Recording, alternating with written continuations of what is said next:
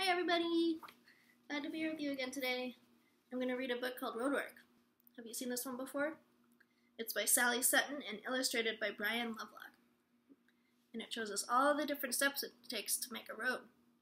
I never knew that there were so many steps until I read this. Okay, you ready? Plan the road, plan the road, mark it on the map. Hammer in the marking pegs, ping, bang, tap. Hmm. There's a map that they're using to plan. There's all the pegs that they're placing so that they know exactly where their road is going to go. Move the earth, move the earth. Dig and cut and push. Clear a pathway for the road. Screech! Boom! Whoosh! We've made the pathway. That's where the road's gonna go. Do you recognize those diggers? I bet a lot of you can name those better than me. Pretty cool. Load the dirt, load the dirt, scoop, swing and drop, slam it down into the truck. Bump, whop, whop. They're scooping and emptying it into the truck. Move that dirt so that they have space for their road. Tip the stones, tip the stones. Lift and slide and dump. Lay the groundwork for the road. Crash, roar, thump. Bring some stones in there to help you make it stronger. Pack the ground, pack the ground. Roll one way, then back. Make the roadbed good and hard. Clang, crunch, crack. Smoothing out, making it hard. Seal the road, seal the road. Make it hot and squishy. Spread the sticky tar and stones. Splashy, splashy, splishy. Hmm, See these tools?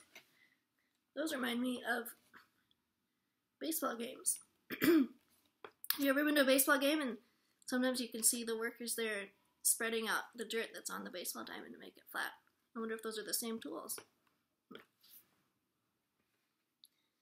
Roll the tar, roll the tar, make it firm and flat. Squash it down and press it out. Split, splat. Hmm, It's a steamroller.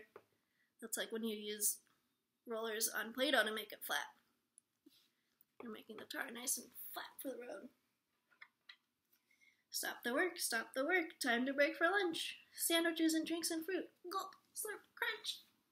It's always important to take breaks, huh? And eat food to help your energy. Mark the road, mark the road, give the paint a squirt. Paint the lines in nice and straight. Whiz, splop, splurt. Hmm. Those marks are important. They help the cars know which way to go and where to stay so that they keep safe. Raise the signs, raise the signs. Drag and hoist and ram. Force them down into their holes. Flack, wham. Do you recognize signs like this when you're on drives? They help us know where to go and what rules to follow to keep, keep safe. And here's a bicycle sign that shows a bicycle that this is a bicycle lane for bicycles so they know that they can be there and they'll be safe. Light the road, light the road, no one wants to crash. Test the lights and watch them shine. Flick, flack, flash. All those lights. It helps us so you know where to go when it's dark out. See the moon? Ah, looks like it's nighttime there. Plant the trees, plant the trees. Dig and stamp and lug, water them to help them grow. Drip, drop, glug. Oh, doesn't look pretty with all those plants? Reminds me of all the work that Jeff has been doing on the playground. Tidy up, tidy up, lift and load and sweep.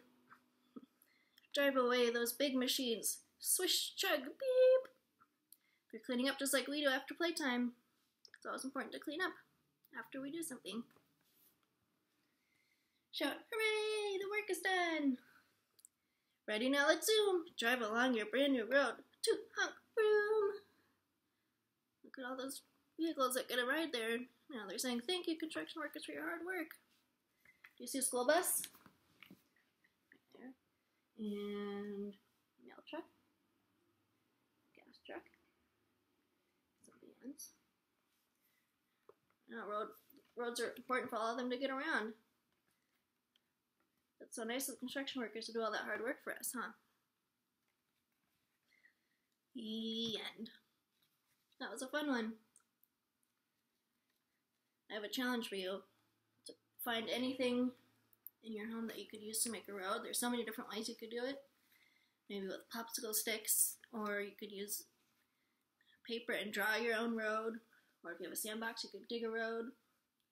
And also, if you're out on a walk or just looking out your window or on a drive, you can look at roads and try and find all the different parts that we learned about in this book. Uh, have fun trying that out. Can't wait to see you again. Thanks for reading with me. Bye.